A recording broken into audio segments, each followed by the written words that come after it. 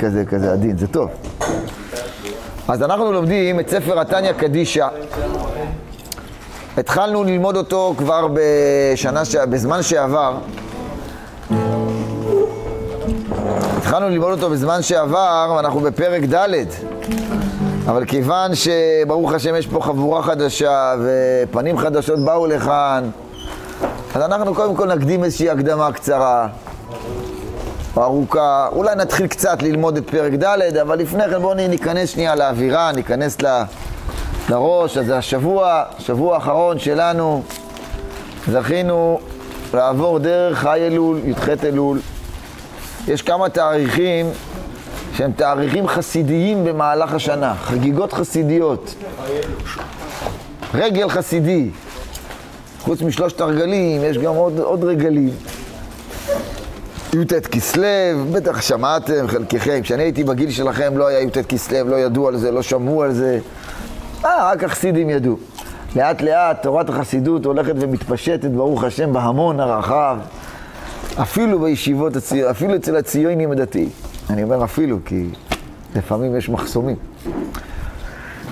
ברוך השם, אז לאט לאט יש התוודעות לתורת החסידות, דרך י"ט כסלו, דרך חי אלול. מה, מה, היה, מה קרה בחי אלול?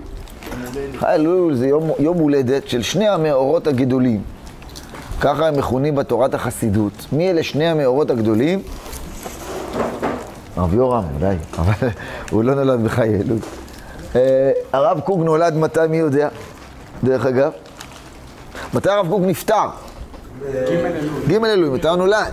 חודש אלול, רבו ישראל, חודש אלול נולד. לא עשיתם לו יום הולדת? אני גם שכחתי האמת. מתי הוא נולד? בט"ז אלול נולד הרב זצ"ל, הרב קוק. ט"ז אלול בגריבה.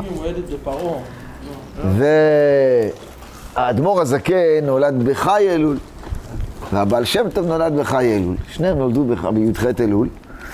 שלא לחינם עושים פה אה, שינוי וקוראים לזה חי אלול. כי את, אתם יודעים שכשצדיקים נפטרים או נולדים בתאריכים מסוימים, הכל בהשגחה פרטית, הכל מכוון. אז חי אלול זה בעצם להחיות את חודש אלול. הבעל שם טוב הקדוש מייסד תורת החסידות, והאדמו"ר הזקן שהיה דור שלישי לחסידות, והיה מבחירי תלמידיו של המגיד ממזריץ'. המגיד ממזריץ' היה התלמיד של הבעל שם טוב, הוא בעצם מסר את כל התורות של הבעל שם טוב הלאה. זה בעצם איזושהי זרם חדש, מעיין שנפרץ, לכשיפוצו מעיינותיך חוצה, שרנו קודם, עוד מעט אולי קצת נדבר על זה, אבל מעיין שנפרץ בתורת הפנים, בתורת הפנימיות, בתורת הנסתר. מי מחולל תורת הנסתר בדורות הקדומים הקדומים? שאלה מייחסים את תורת הנסתר. בזמן התנאים, רבי שמעון בר יוחאי, אבל אם אנחנו ככה עושים דילוג בהיסטוריה, מי ככה נתן תנופה אדירה לתורת החסידות והביא אותה בפנים חדשות לגמרי? ארי הקדוש לפני 400 ומשהו שנה. אחרי הארי הקדוש, שהוא גדול המקובלים, היום כל תורת הקבלה מבוססת על הארי הקדוש, שחי בצפת. הבעל שם טוב הגיע איזה 150-200 שנה אחר כך, והוא ייסד את תורת החסידות. שתורת החסידות היא לקחה את תורת הקבלה, שעסקה בפר, בפרצופים העליונים, בכל מיני אה, עולמות, אין ספור, שהם עולמות אה, מרתקים, אבל רק אנחנו לא, לא בדיוק שם. באה תורת החסידות והלבישה את כל, ה, את כל תורת הקבלה בתוך הנפש של האדם. ואמרה שנפש היהודי, הנפש האלוקית של האדם מישראל, משקפת את כל העולמות העליונים, בצלם אלוהים ברא את האדם. נכון? איך בנפש החיים, רבי חיים מוולוז'ין בספרו נפש החיים, איך הוא מסביר צלם אלוהים? שהאדם נברא בצלם אלוהים, הוא נברא בדפוס, בדמות שתשקף את אלוהים. אלוהים זה, זה, זה בעל היכול, בעל הכוחות כולם, כך אומר שולחן ערוך בסימן ו'. כל אחד פה בטח כבר למד, הגיע לסימן ו', התחיל כבר, כבר עברו 20 יום, תחילת הזמן. בסדר? אז אה, בעל הכוחות כולם. כל הכוחות, כל הכוחות שקיימים בכל העולמות משתקפים בנפש האדם. באדם, באדם מישראל, בנפש האלוקית של האדם מישראל יש חוטים כאלה עדינים שמזיזים ומניעים את כל העולמות. אנחנו, אנחנו אלה פה היום, כולנו חיים, כולנו. יש בנו נש, נשמה כזאת, שיש בה את ה... את ה... איך קוראים לזה במחשבים? את המוח, איך זה נקרא? ארדיסק, ארדיסק, אה? שמזיז את כל העולמות. יש בנו נפש אלוקית, שהיא נשמה, שמקושרת לכל הכוחות האלוקים שקיימים במציאות. בא בעל שם ואמר, במקום לדבר על כוחות אינסוף שאין לנו שום מגע, בואו נדבר על העבודה של האדם. שהוא זה שמניע את כל העולמות האלה, ונראה איך כל העולמות האלה משתקפים בתוכו. אז הבעל שם טוב בעצם חידש תנופה אדירה של תנועת החסידות, שקמו לה הרבה מתנגדים, לא ניכנס לזה עכשיו, וכל דבר טוב יש לו מתנגדים, אחרת סימן שהוא לא טוב, נכון? ככה גומר דבר בכתובי בדף ק"ה, אם אתה רואה אה, תלמיד חכם בעיר, מרא דאתרא, שכולם מוחאים לו כפיים, סימן שהוא לא עושה את העבודה. אם אה, זה, תמיד אה, יש כאלה ששונאים אותו. אז, אז בתורת קמה התנגדות, וההתנגדות הזאת, כפי שהרב קוק לימד אותנו, ההתנגדות הזאת באה לשפר, לכלכל, לשכלל את תורת החסידות. ובחי אלול נולד הבעל שם טוב, ואחר כך האדמו"ר הזקן, בעל, בעל התניא קדישא. האדמו"ר הזקן היה מבחר תלמידיו, צעיר תלמידיו, והמובחר שבתלמידיו של המגיד ממזריץ'. רב דוב בר ממזריץ' שהיה התלמיד של הבעל שם טוב. אז הכל, הכל מתחיל מהבעל טוב ומתנקז לבעל התניא. מה הבעל התניא חידש בתורת החסידות? אחד החידושים הגדולים שלו, הרב קוק, כותב באורות הקודש, שהוא מכנה את בעל התניא, את ספר התניא, כהחלק התבוני של החסידות החדשה. יש חסידות ישנה של רבי יהודה החסיד וכולי. החסידות החדשה זה הבעל שם טוב. החלק התבוני של החסידות החדשה, חב"ד, חב"ד זה חב"ד, חוכמה בינה דעת. מה זה החלק התבוני? כי ספר התניא, מה שחידש האדמו"ר הזקן, עד האדמו"ר הזקן, כל החידושים של הבעל שם טוב היו הברקות, וורטים, שמי שהיה שומע אותם, דברים מבריקים, פנטסטיים, עושים לך אור בנשמה, אבל חסר ביסוס. איפה זה בתורה? מקורות, משהו. המקורות של הבעל שם טוב היו המקורות הנשמתיים שלו, הוא לא היה צריך מקורות, זה כמו שהיום, תפתח ספר אורות, אורות הקודש, וזה אומר, מה המקור של הרב? הרב מדבר, כל מיני דברים כאלה גבוהים, נניח שהבנו מה הוא אמר. איפה זה כתוב? מה המקור? הרב קוק לא כתב מקורות לדבריו. אמנם אין דבר שאין מקורו בארי הקדוש, ככה הרב קוק אמר, שאין שום דבר מדבריי שאין מקורו בארי הקדוש. נכון? וגם הרב כולו מהר"ל, ככה הרב ציודה אמר. מתי המהר"ל, דרך אגב? נולד? אה, נפטר? היורצת של המהר"ל?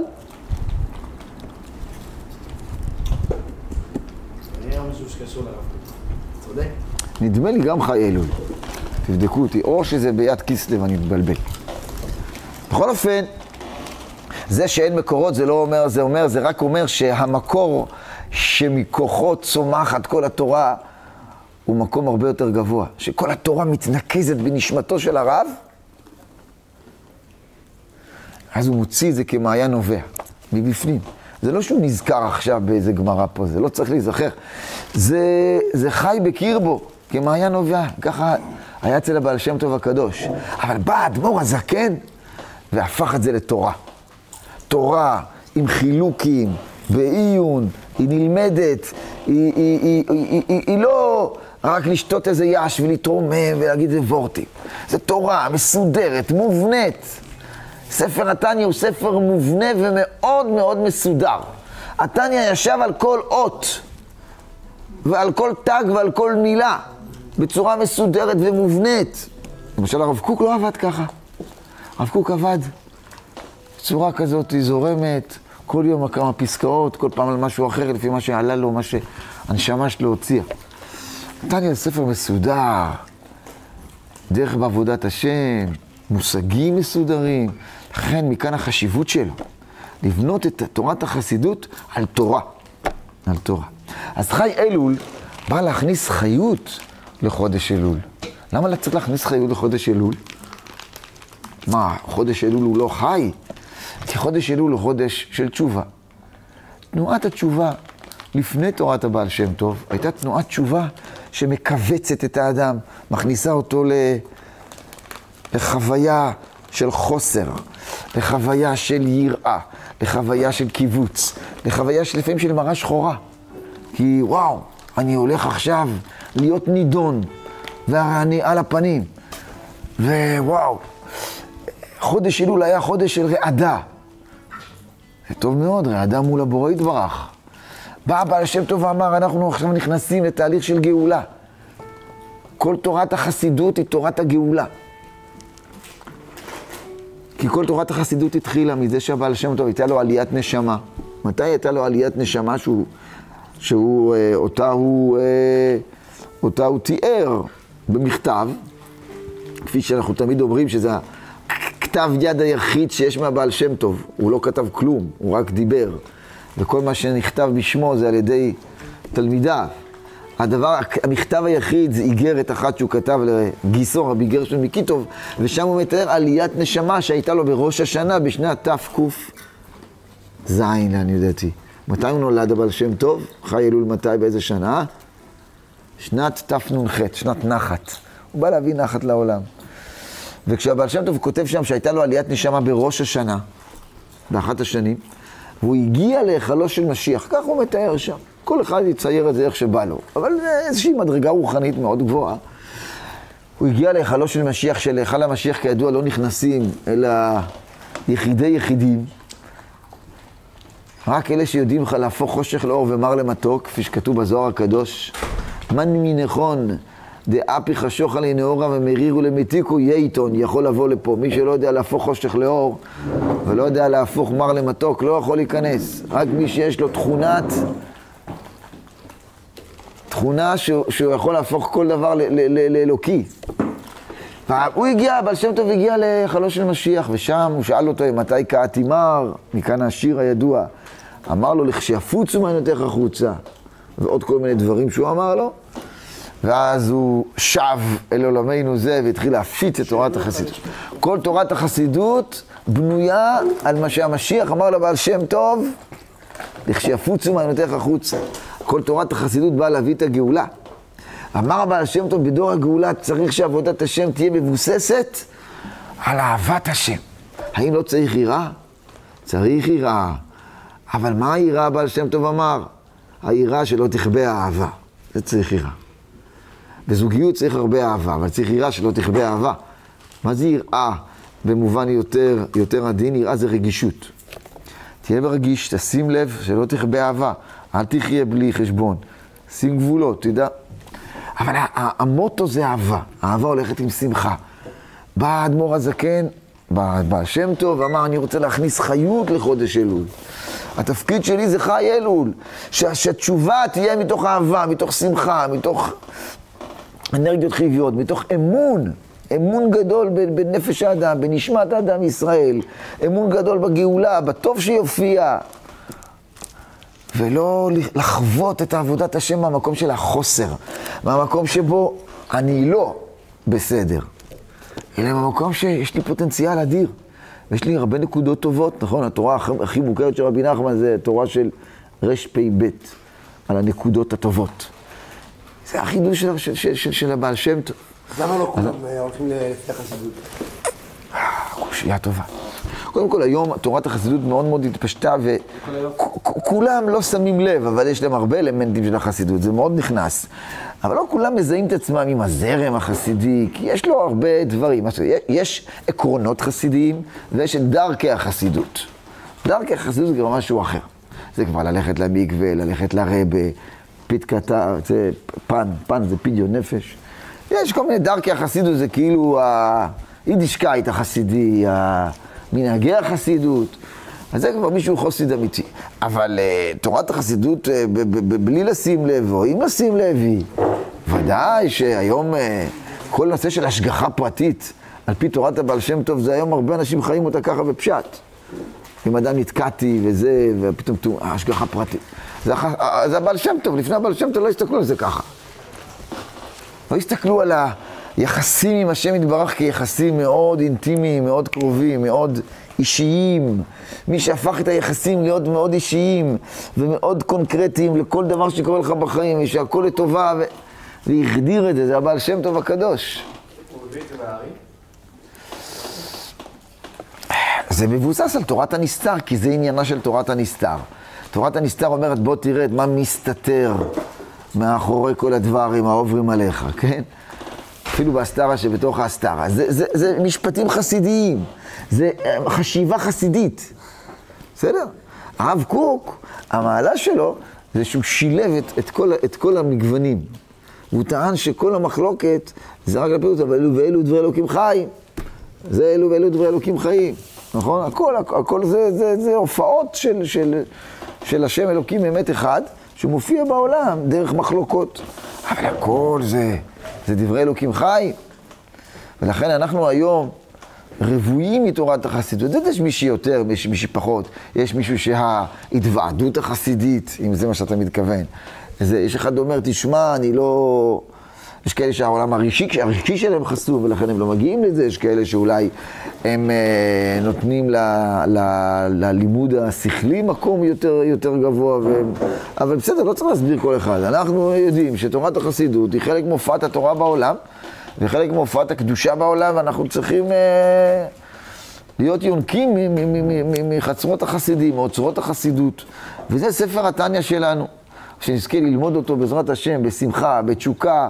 הוא דורש הרבה התבוננות, הוא לא ספר כזה קל. אתם יודעים שהאדמו"ר הזה, כן, נחשב המסנגת של החסידים. בתוך החסידות הוא נחשב מסנגת, מתנגד.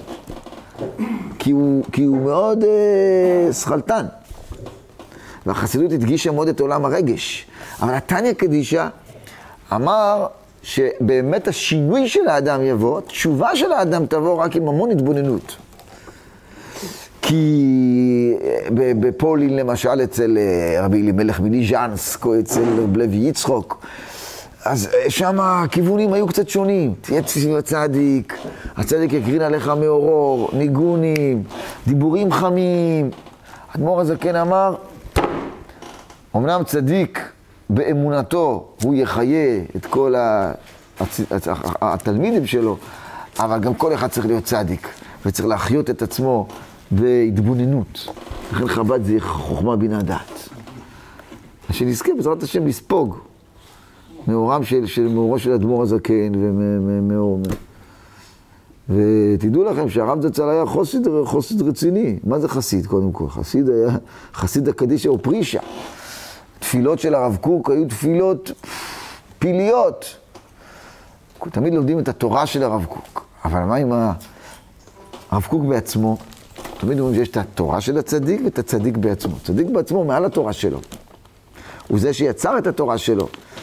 מי שיפגש קצת דרך סיפורים או דרך... עם הרב צצל בעצמו, אני הייתי בבית הרב לפני חודשיים. למרות שאני קצת כאילו, שמעתי על הרב קוק לפני כן, אבל עדיין, הלכתי עם אשתי כזה, דייט זוגי כזה, בחופש, עכשיו היה חופש, לאן נלך? ליוון?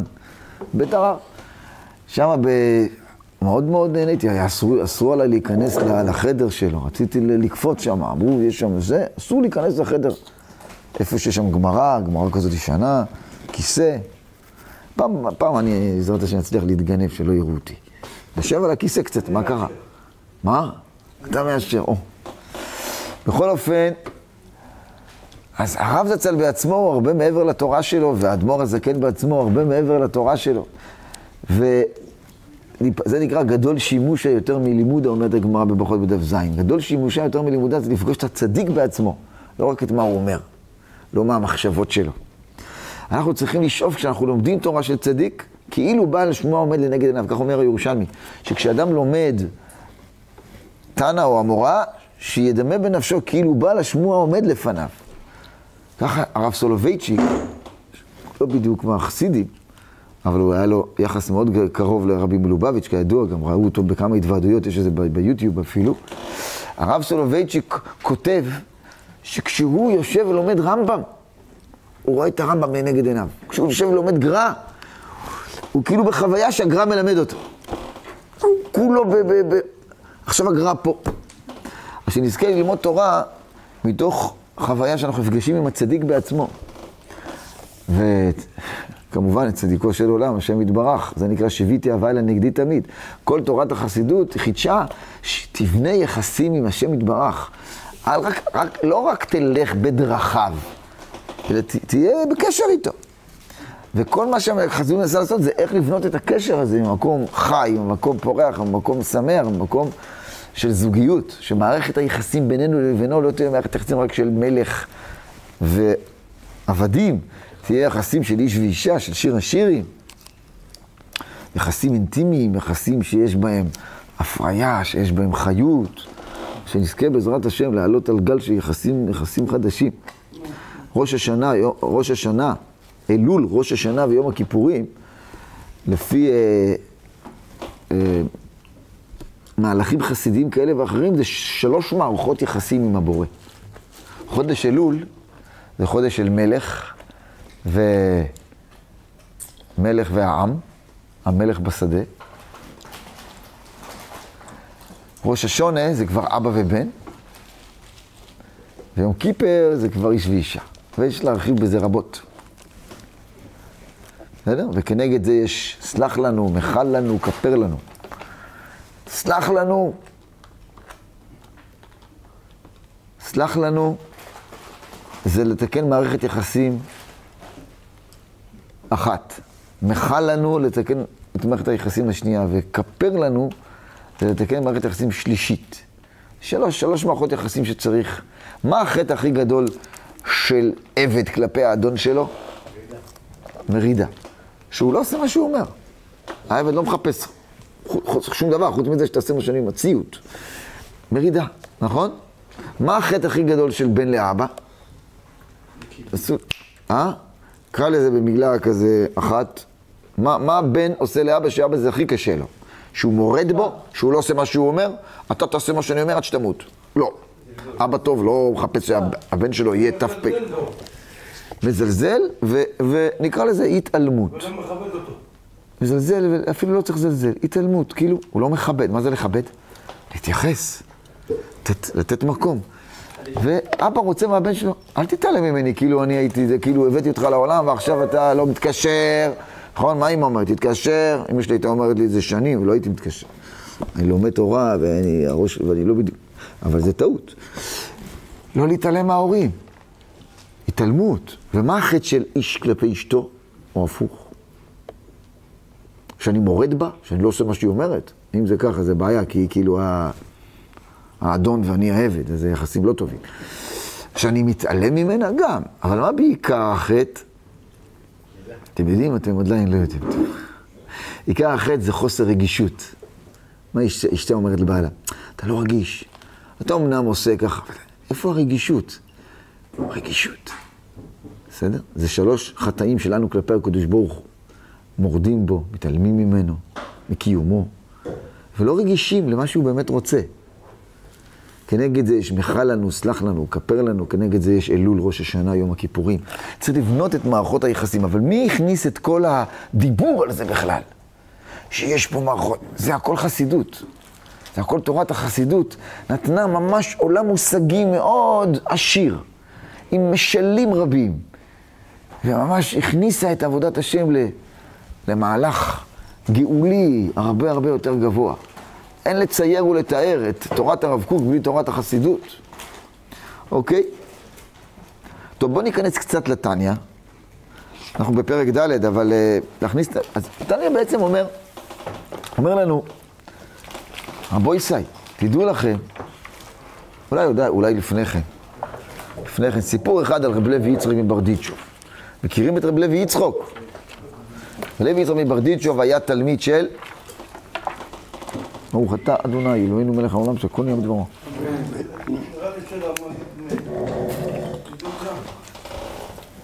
הוא יודע שלמד ממזריץ', נכון? נכון? בעל קדוש הסלוי רב לוי יצחוק, שהוא סנגורם של ישראל, היה תלמיד של המגיד ממזריץ', שהיה תלמיד של הבעל שם טוב. הוא היה חבר של בעל התניא, אדמו"ר הזקן. הם היו חברים. אדמו"ר הזקן היה יותר צעיר ממנו. אז רב לוי יצחוק, פעם אחת לפני ראש השונה, זה סיפור חסידי למשל, שמעביר מסר חסידי. חיפש בעל תוקע, בעל תוקע לראש השונה. אבל כשרבה, כשאדמו"ר כזה מחפש בעל תוקע, הוא לא, לא רק מחפש מישהו שיודע להוציא צלילים יפים, נכון?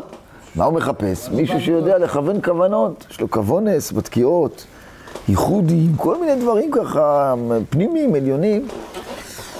הגיעו כל מיני מקובלים, רציניים, כל אחד בא, תוקע, תוקע, עושה תקיעות, גם נשמעים טוב, גם מקצועיים, עם כל הכוונות והשמות הקדושים, והיה מנפנף אחד אחרי השני. טוב, זה בסדר. הלאה. עוד בעל תוקע, כל אחד עם הכוונות שלו. לוי יצחק הרגיש חסר פה משהו. עד שהגיע מוישלה. זה כבר, ידוע, כבר יודעים שזה סיפור חסידי. מוישלה פתאום יהודי פשוט. חסידים הם תמיד אומרים את האיפכא מסתברא. כי זה ניסטר, זה פנימיוס. אל תסתכל על הקנקן, על מה שיש בו. אתה חושב, אלה עם הזקן, אלה המקובלים. לפעמים יהודי פשוט שיש לו מעלה יותר גדולה. לא, לא להיות מסונבר. איפכא מסתברא זה בגימטריה בעל תשובה, אתם יודעים. בעלי תשובה הם תמיד חושבים כזה מחוץ לקופסה. אז הגיע מוישה למשוב מים, לא יודע, פשוט בעיירה. הוא הגיע ל... אני, אני אעשה את כוחי, אולי אני, אני הבעל תוקע. צעקה תקיעות, אמר רב לוי יצחק, זה הבעל תוקע שלי השנה. היהודי הזה. אמר לו, אמר לו רב לוי יצחק, תגיד לי, מה עשית? מה, מה, מה? איך תקעת כאלה תקיעות? כי רב לוי יצחק היה שומע את הפנימיות של הכל. אמר לו, תשמע, אני לא יודע, לא כלום, אין לי שום כוונות, אני לא... אבל יש לי שבעה ילדים, יש לי כמה בנות כבר גדולות והן לא נשואות, ואין לי כסף גם לחתן אותן. ואני צועק את הצעקה הפנימית שלי בתוך השויפה. אמר רב לוי יצחוק, זה, זה יותר גבוה מכולם. כי כולם חושבים מפה, והוא חושב, הוא לא חושב, הוא מביא את הכל מכאן, מהלב. כן, החסידות אמרה, איפה הלב שלך? הלב, אפילו שהוא לא עוסק בעניינים גבוהים, אבל ריבונו של עולם רוצה לראות את, ה, את החיות האמיתית. איפה אתה, לאן אתה באמת מחובר? הצעקה הפנימית, היא שנכנסת לכל השופר והיא קורעת את כל, את כל השחקים, את כל, את כל הריקים. לוי יצחק זיהה אצלו את, ה, את, ה, את הפנימיוס, וככה החסידות תמיד הייתה אומרת שלפעמים היהודי הפשוט, הוא עולה בטהרת הלב שלו על התלמיד חכם הגדול. כן, זה המסנגדים לא אהבו, כי זה לשבש את ההיררכיה. כי תלמיד חכם הוא תלמיד חכם, יושב, עמל בתורה, הוא לא יודע הרבה. אמרת, חסידות, ידע זה חשוב, אבל, אבל לא עם הארץ חסיד, זה נכון, עם הארץ לא יכול להיות חסיד, אבל יש נשמה, תן לנשמה מקום. שים לב שאתה לא מאבד את הלב החם. ואז המדבור הזה כאן אומר לנו שיש לנו שתי נפשות, נפש אלוקית ונפש בהמית. פרק א', יש שתי נפשות. כבר חידוש גדול. אז אנחנו יודעים שיש יצר רע ויש יצר הטוב. אבל האדמו"ר הזה כן מכנה אותם כנפשות. זה לא סתם איזה שהן נטיות כאלה לטוב ולרע. זה שתי מערכות נפש שלמות. אחת נקראת בהמית, השנייה נקראת אלוקית. הבהמית, מה שמאפיין אותה זה שהיא חושבת על עצמה. האלוקית, מה שמאפיין אותה זה שהיא חושבת על השם. שהיא חושבת על השם, שהיא מרגישה את השם, שהכל שם זה אלוקות. והנפש הבהמית זה שהיא שקועה בעצמה. נפש הבהמית היא לאו דווקא רעה. היא לא עוסקת בלעשות רע, היא עוסקת בלדאוג לקיום של עצמה. אם אנחנו אוכלים, שותים, ישנים, מטיילים, גם אם אנחנו לא עושים עבירות, אם אנחנו עושים את זה לא לשם שמיים, אנחנו חיים את הנפש הבהמית שלנו. הצד האנושי של החיים. הצד האנושי של החיים זה נפש בהמית, זה לא עבודת השם. הצד האנושי. ויש צד אלוקי בחיים, שאנחנו חיים אלוקות, חיים את הרצון האלוקי, שאנחנו הופכים להיות כלי להופעת אלוקות בעולם. זה הנפש האלוקית, זה מה שהיא מחפשת, היא רוצה את השם, היא חולמת על השם, היא אוהבת את השם, היא יראה מהשם. ואילו הנפש הבהמית אוהבת את עצמה, חושבת על עצמה. וכשזה רק כך, זה מגיע אחר כך גם לאיסורים, לעבירות. קורא לזה אדמו"ר הזקן שלושת הקליפות הטמאות. עכשיו זה כבר מינוחים קבליים. יש ארבע קליפות בתורת הקבלה. קליפה זה תמיד משהו שמסתיר, שמכסה, כמו קליפה שמכסה על הפרי. אנחנו אומרים את זה בתמצית עכשיו, יש ארבע קליפות. קליפה אחת היא נחמדה, שלוש הקליפות האחרות הן על הפנים. קליפה אחת נקראת קליפת נוגה, שהיא מעורבת מטוב ורע. נוגה זה כמו בין השמשות כזה, קצת אור, קצת חושך. היא מעורבת מטוב ורע, כמו עץ הדעת טוב ורע.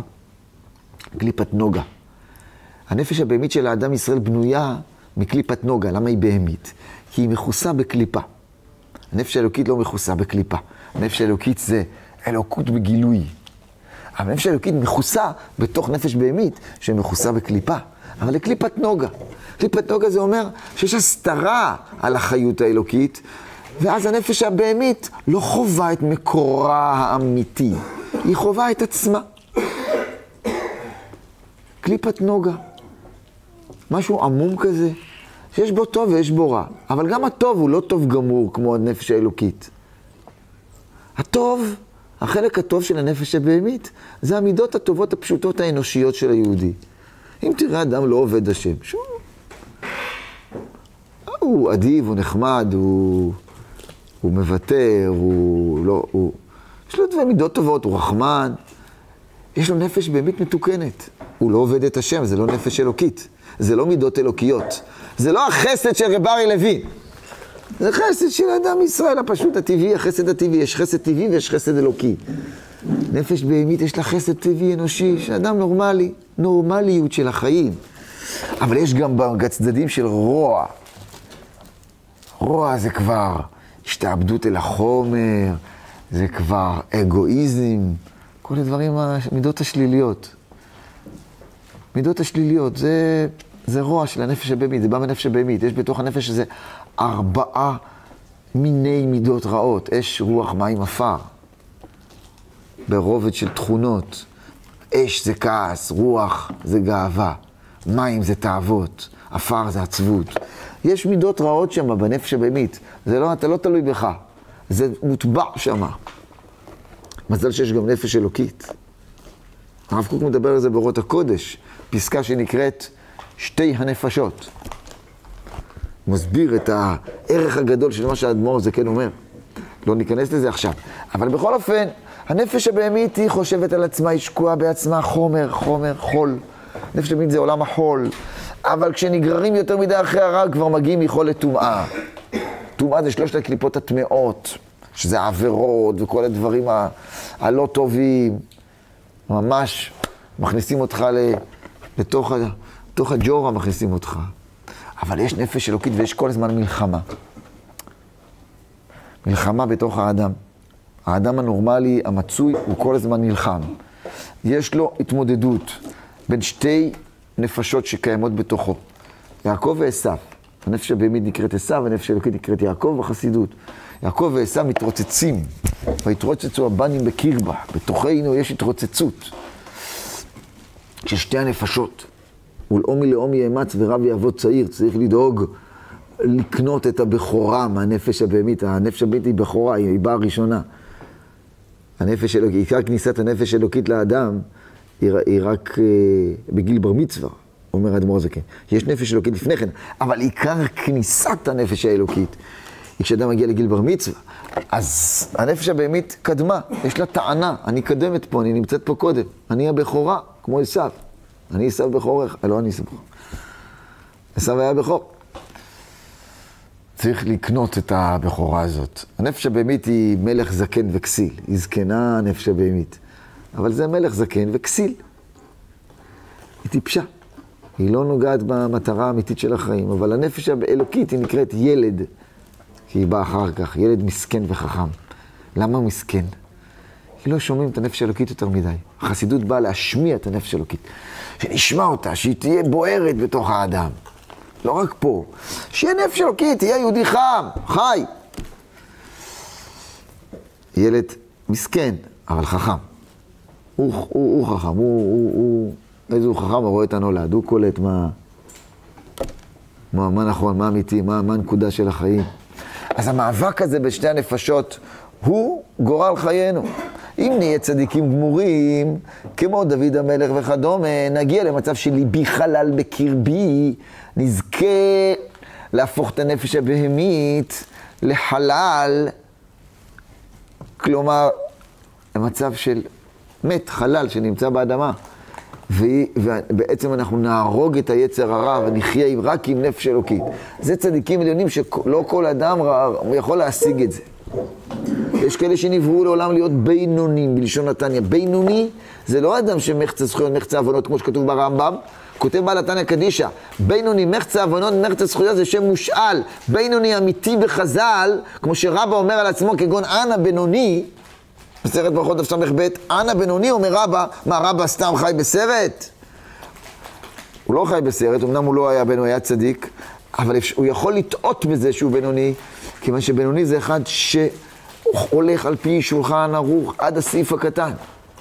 אם אדם עובר עבירה אחת, אפילו אחת, והוא לא עושה עליה תשובה, בפרט אם זאת עבירה, אפילו אחת, שהוא עושה אותה לפרקים, שמירת העיניים, אכילת, אכילת אה, דברים לא כשרים, וכן הלאה, ביטול תורה, גם כל עבירה שלא תהיה, ביטל קריאת שמע, במקרה קם בתשע, לא יודע אם קרה למישהו פה לקום פעם בתשע, נניח, קם בתשע, ביטל זמן קריאת שמע, עבירה, לא עשה על זה תשובה, אדם צריך לעשות תשובה על העבירות שלו. נגיד, ישבתי בגדי, סליחה, ריבונו של עולם, לא שוב לזה החטא לעולם, לעשות איזה תהליך פנימי עם עצמו, דקה אפילו, משהו, חרטה. אם אדם לא, הוא נקרא רשע, בלשון נתניה. ראיתם איזה חוסד רציני באדמו"ר הזקן? אם אתה עושה עבירה, אתה רשע. אפילו עבירה אחת. בינוני זה אדם שלא עובר עבירות. הוא ברמה שהוא לא עובר עבירות. זה לא שהוא לא עובר עבירות, יכול להיות שפעם הוא עבר עבירות, אבל הוא ברמה שעבירה משוללת ממנו. אבל הוא כל הזמן במלחמה, והוא מנצח. זה נקרא בינוני. לכן רבא טעה בעצמו לומר שהוא בינוני. כי הוא אמר, אני, אני, אני, אני, אני לא יודע אם הרגתי את היצר הרע, יכול להיות שאני פשוט מנצח כל הזמן. הלוואי בינוני, זה מושג בחסידוס. אומרים כאילו כל מיני משפט, והלוואי שתהיה בינוני. הרבי מלובביץ' אמר על איזה יהודי שגר היום בבת עין, שהוא הבינוני של התניא. זה שבח עצום. יהודי מיוחד, הרב גד. הוא הבינוני של התניא. אז זה לא כל אחד הוא הבינוני של התניא. התניא הוא ספר של בינונים. הוא מלמד אותך להיות לוחם שמנצח. מיומן ומנצח תמיד בקרב. זה התודעה של אדמו"ר זקן. ואז אומר לנו אדמו"ר זקן, תקשיבו, אז יש פה מלחמה, לכל נפש יש עשר כוחות, שזה השתלשלות של עשרת הספירות. יש בעולם מושג שנקרא עשר ספירות, עוד פעם מושג קבלי. עשר ספירות זה אומר שבעצם יש עשרה ערוצי אנרגיה, שדרכם ריבונו של עולם ברא את העולם. כתר, חוכמה, בינה, חסד, גבורה, תפארת, נצח, עוד יסוד מלכות. אם תספרו, תגלו שיש 11, אבל יש עשר. עשר ספירות. עשר ספירות זה עשרה מינים של אורות שריבונו של עולם דרכם מנהיג את העולם. הכל הכל זה עשר ספירות. ובוודאי ובוודאי עשרת הספירות הללו משתקפות בנפש האלוקית או הבהמית של האדם מישראל. יש לו בתוכו עשרה מיני כוחות שמחולקים לכל מיני סוגי חלוקה, לענייננו מחולקים לשלוש. יש כוחות שנקראים על מודע, זה הכתר, כוחות של אמונה, של רצון. זה כוחות שהם מעל השכל של האדם. אמונה זה מעל השכל. הרצון הוא שורש החיים, הוא מעל השכל. אם אין רצון, אתה גם לא תוכל לחשוב. אתה צריך לרצות לחשוב. שכל, רצון, תענוג, לא ניכנס לזה עכשיו, זה שלוש, שלוש, שלוש כוחות שכלולים בכתר. בכתר, שיש בו כמה וכמה רבדים. אז יש על מודע, מעל המודעות, יש את המודעות שזה חוכמה בין הדעת, חב"ד, זה כוחות השכל של האדם. יש את המידות, חסד גבורה תפארת נצח עוד יסוד, ויש מלכות שזה העשייה של האדם בפועל. האדם שבונה ממלכה, כל אדם יש לו ממלכה. כל התורה והמצוות שאנחנו עושים זה ממלכה. כל מה שאנחנו עושים בעולם, אנחנו בונים את הממלכה שלנו. זה חלוקה לארבע, בסדר? חלוקה לארבע כנגד ארבע אותיות שם הוויה. יש כתר, על מודע. על מודע, מודע, מידות, עשייה. זה מה שיש בנפש של האדם. כל מה, שאתה, כל מה שתחוו, תרגישו, תעשו, כל מה שיקרה איתכם יוצא מהרביעייה הזאת שמחולקת לעשר. כי במודה יש שלוש כוחות, חב"ד, במידות יש שש כוחות, אז זה מחולק בסך הכל לעשר. על מודע מודע מידות עשייה. אומר האדמו"ר הזקן, האדם צריך ל... להשתמש ב... ב... בעשרת הכוחות הללו לעבודת השם. לעבודת השם. אם אתם אוכלים פה במבה,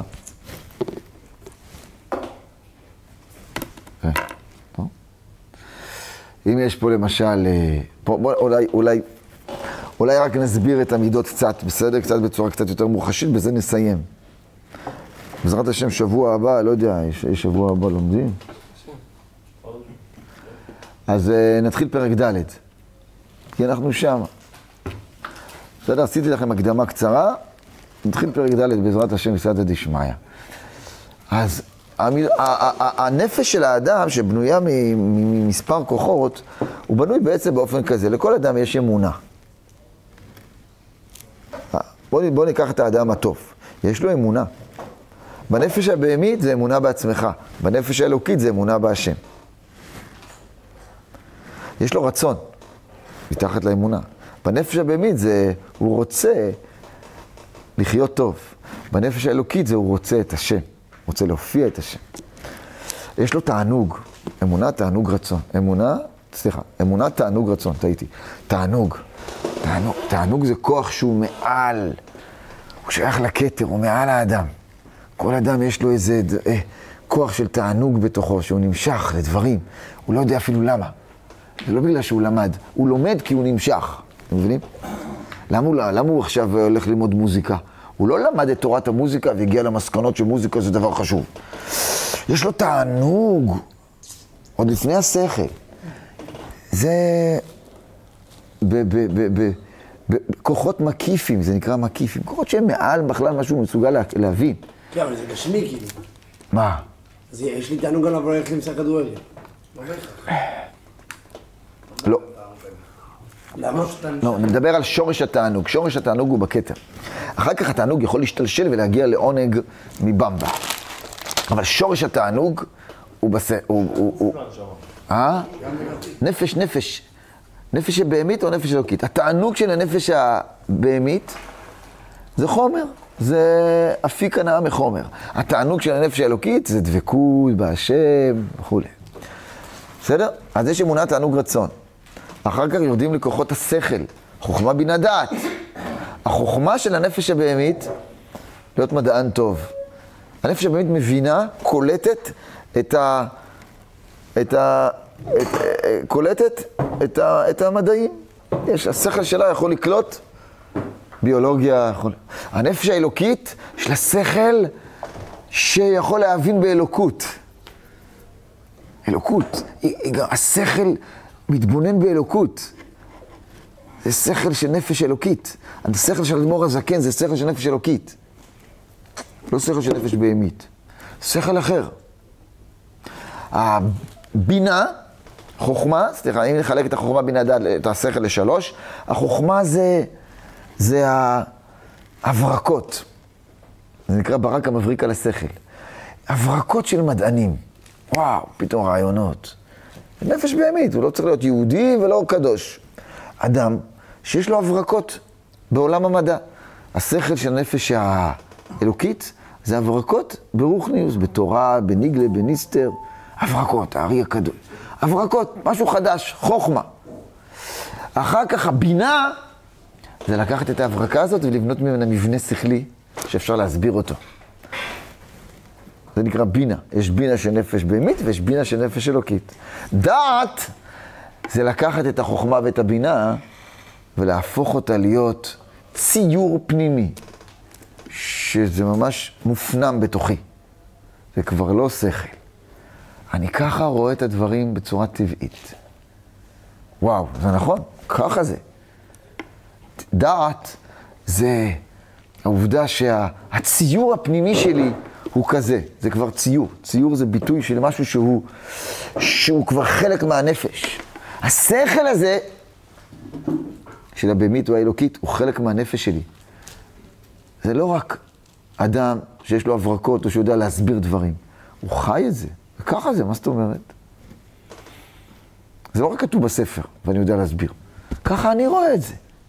כשלומדים עיון, צריך להגיע לרמה של דעת. מה זה רמה של דעת? בבקיאות לומדים מקסימום בינה. מבינים דבר מתוך דבר במקרה הטוב. מבינים מה שכתוב. בעיון אתה מגיע למצב שזה הדעת שלך. שואלים אותך, מה הדעת תראה? מה אתה חושב? אתה צריך להגיע למצב שאני ככה מבין. ואז אתה תצעק על החברותא שתגיד, מדבר שטויות. למה אתה תגיד מדבר שטויות? כי זה נוגד את הדעת שלך. בסדר? הדעת זה כבר, איך זה מצטייר אצלך, והדעת מולידה את המידות. אמונה, תענוג, רצון, כתר, חוכמה, בינה, דעת, שכל. ואז באים המידות, מאיפה המידות באות? הדעת מולידה את המידות. הדעת זה המפתח של כל המידות. נקרא מפתחה דקליל שיט, מפתח שכולל את כל ששת המידות, שכוללות את כל המידות. בתמצית זה שש מידות. חסד, גבורה, תפארת, נצח, עוד יסוד. לא נפרט אותם. זה מכלול המידות של האדם, בגדול זה מידות של התפשטות והתכנסות. אהבה זה התפשטות, יראה זה התכנסות. ככה כל המידות, מידות ימין ושמאל. ימין מקרבת, שמאל דוחה. מידות, כל המידות נמצאות שם, שהשורשים שלהם זה חגת נהי, חסד גבורה תפארת נצח עוד יסוד. יש מידות, המידות הן תולדות של האבות. מי זה האבות? החב"ד, השכל. לכן חב"ד נקרא אם, הם האם של המידות. הם הבנים שמחה.